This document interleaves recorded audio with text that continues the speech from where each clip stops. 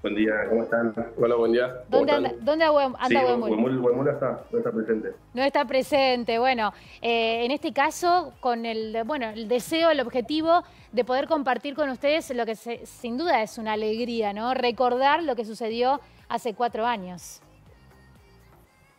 Sí, la verdad que sí. Eh, un orgullo, orgullo enorme haber eh, sido parte de ese equipo que ha logrado lo, lo más importante, del, o sea, lo más importante del, deporte eh, a esta altura. Así que, bueno, siempre recordarlo nos, llena de orgullo, de admiración por nuestros pares y, por todo lo que lo logramos. Eh, es inevitable pensar en cómo se desarrolló esa definición, ¿no? Con lo electrizante que fue, eh, el hecho de ir perdiendo ese partido ante un rival con el que ya habían perdido y sin embargo logran darlo vuelta. ¿Cuál fue? ¿Recuerdan ustedes el momento clave eh, para poder dar vuelta a esa historia y quedarse con el título? Creo que el momento clave fue em, la preparación previa que tuvimos a, ese mundial, que fue, además de la parte física y técnica, trabajamos mucho lo mental, eh, que creíamos que era la herramienta que nos estaba haciendo falta para superar estos juegos definitivos. Y bueno, creo que eso fue la clave y tuvimos esa, tranquilidad, por así decirlo, eh, entre comillas, ¿no? Porque fue un juego muy apretado, pero tuvimos esa paciencia para lograr eh, dar, dar, vuelta a los juegos. Claro, porque del otro lado también tuvieron su preparación, también tienen una mentalidad este, eh, que parece que nunca se desconcentran, que no les pasa nada, ¿no? A esa selección japonesa que uno lo veía jugar y decía, ¿en qué momento van a cometer un error? sin embargo, hubo, hubo algo, hubo un plus, ¿no? Por parte de ustedes. Sí, la verdad que sí. Eh, Japón es un rival durísimo que no, no aflojó. Eh, completamos el, partido regular, que son de 7 siete, innings, de 7 periodos, y tuvimos, tuvimos que jugar 3 periodos extra más, porque veníamos empatados. Cuando anotábamos, ellos anotaban, y así, así sucesivamente. Así que sí, fue, fue un partido durísimo, lleno de tensión, pero como dijo Juan, creo que la parte mental y el, el saber estar tranquilo en esos momentos fue lo que, lo que nos llevó la clave para, lograrlo. Juan, y después fue volver, ¿no? A la Argentina, volver a Paraná, con un recibimiento que pocas veces se ha visto eh, en general en la, en la capital entrerriana, una celebración de estas características. ¿Qué significó para ustedes? ¿Qué recordás de eso? ¿Cómo lo vivieron? Bueno, justo a nosotros dos no nos tocó, ah, lamentablemente no, nos tocó. Eh, ¿A dónde se fueron? ¿A Estados Unidos? Sí, tuvimos que ir a un torneo directo para estos lados, así que lamentablemente no, no pudimos presenciar ese, ese recibimiento, pero la verdad que lo que vimos en videos y lo que nos contaron nuestros compañeros que volvieron a Paraná fue inolvidable, fue algo increíble, la verdad que eh, lo que la gente, cómo nos recibió la gente, este, el coche bomba y todo ese movimiento fue algo, la verdad, impresionante. Sí, ¿no? Eh, decían ustedes, ay, qué lindo sería estar ahí, si bien, bueno, lo que tenían por delante en Estados Unidos era seguir en competencia, pero eh, yo imagino que estaban las ganas de poder compartir con la gente, con, su gente, eh, semejante logro. ¿Qué les pasaba?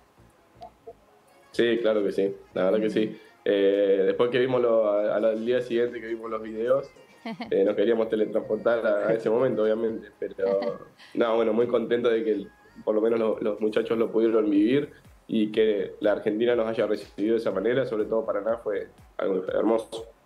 Eh, Teo, yo pienso en que eh, más allá de, lo que ustedes decían del trabajo previo específico para, un mundial, mientras vemos las imágenes de cuando llegaba eh, parte de la selección a Paraná, esto tiene que ver con generaciones, ¿no? Que, que trabajaron por el softball, que se formaron en esta disciplina para que les haya tocado a ustedes quizás transitar toda esa formación y llegar a ser los mejores del mundo, ¿no? Sí, sí, completamente de acuerdo. Como vos decís, esto es un trabajo de años. El deporte se fue desarrollando, porque antes acá no, existía, obviamente, se fue, se fue desarrollando en Argentina y aumentando de nivel gracias a un montón de, personas y que han estado a lo largo del deporte y gracias a eso es, la base y más de donde nosotros arrancamos para poder llegar a logro. Eh, sin ello no, no hubiésemos estado en, el mejor nivel, eh, ni estaría el, el, softball argentino ahora en el mejor nivel mundial. Mira, están viendo las imágenes. Están viendo las imágenes de la caravana. qué lindo, sí, sí, sí, qué, qué, lindo sería repetir esto, ¿no? Yo me imagino que una vez que se vive, se quiere, se sueña con, con volver a vivirlo, ¿no? Sí, así es. Así es. Bueno, eh, es el objetivo que nos, que nos, queda adelante en las, las competencias que se vienen. Eh, por, por, suerte y por, la dedicación que le seguimos, le seguimos dando a esto. En estos cuatro años que han pasado hemos estado en, eh, en las mejores posiciones, casi en los podios de todos los torneos, que es uno de los objetivos primordiales que teníamos nosotros, que el software argentino mantenga su, nivel, independiendo, independientemente de la competencia y demás, que estemos ahí, ahí encima. Eh, y eso lo hemos, logrado. Hay que seguir trabajando y hay que, hay que volver a buscar el título.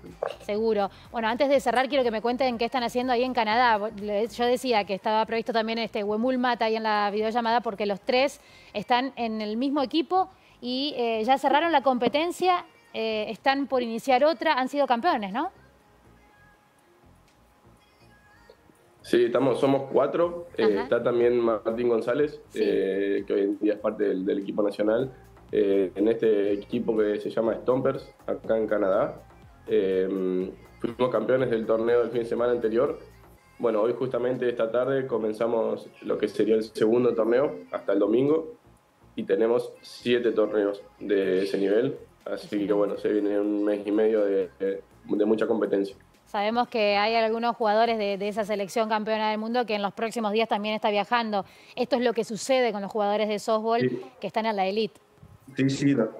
nosotros como equipo tomamos esto como, como parte de la preparación anual, es una de las más importantes porque es un, nivel internacional muy alto, vienen jugadores de, de, todo el mundo a jugar aquí al, norte.